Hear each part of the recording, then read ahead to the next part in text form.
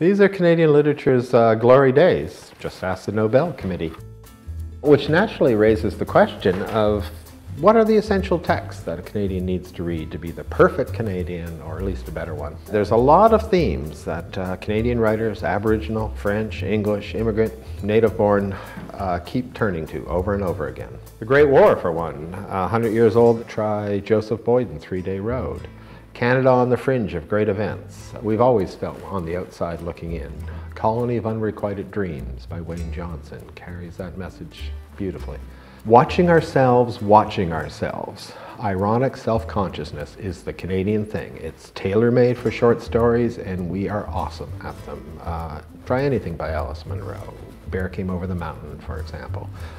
There's the um, outsider's tale, not just the immigrant story, which is a dominant figure, but also uh, the second generation trying to fit in, trying to crack the magic circle. That's Mordecai Richler, especially. Solomon Gursky was here.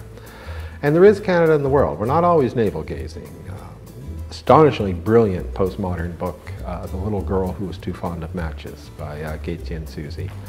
And then Margaret Atwood's Handmaid's Tale has reverberated through generations of um, women in the Anglosphere.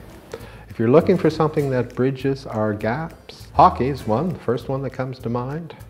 And no one, no one at all has done it better than Ken Dryden in the game.